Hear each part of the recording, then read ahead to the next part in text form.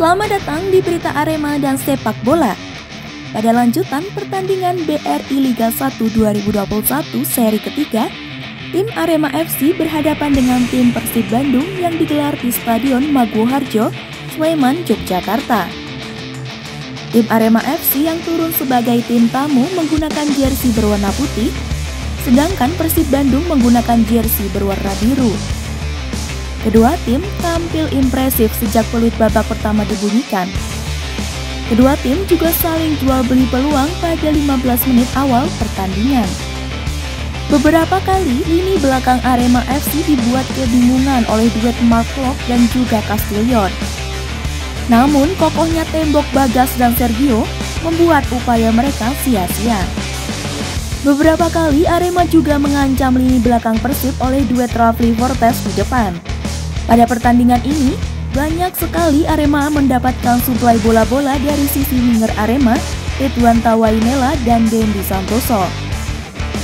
Dendi Santoso berhasil membuka keunggulan Arema melalui sontekan roket yang mampu menjebol gawang Teja Paku Alam pada menit ke-17 melalui umpan lambung Ridwan Tawainela.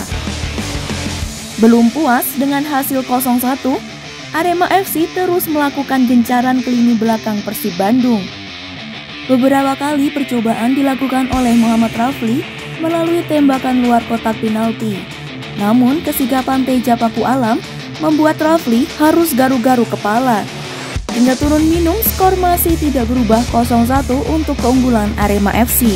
Pada peluit babak kedua dibunyikan, Persib langsung mencoba melakukan gempuran ke lini belakang Arema FC. Banyak peluang yang mampu mereka peroleh, namun kokohnya lini belakang Arema FC harus membuat mereka frustasi. Di samping itu, penampilan Adilson Maringa yang sangat baik pada pertandingan kali ini. Adilson Maringa beberapa kali melakukan penyelamatan bola-bola lambung dan juga heading dari pemain Persib Bandung. Muhammad Rafli mempunyai beberapa peluang yang harusnya mampu diciptakan sebagai gol. Namun kesigapan Teja Paku Alam membuat Rafli harus memutar otak lagi.